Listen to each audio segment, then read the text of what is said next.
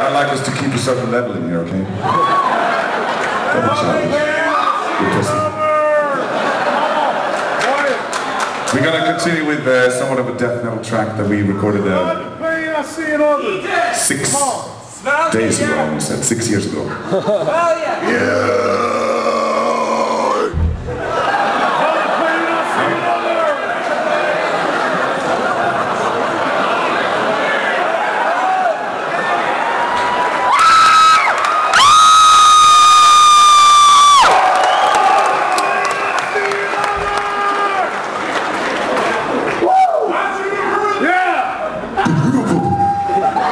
Here we go.